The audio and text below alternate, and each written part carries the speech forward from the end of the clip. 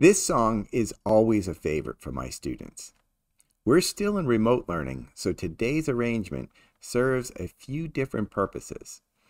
It introduces younger students to eighth notes, and drummers will experiment with that classic rock beat.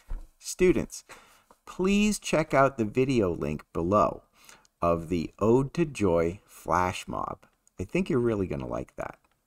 Drum students, be sure to check out the helpful videos that are in the link below for helping you learn that rock beat.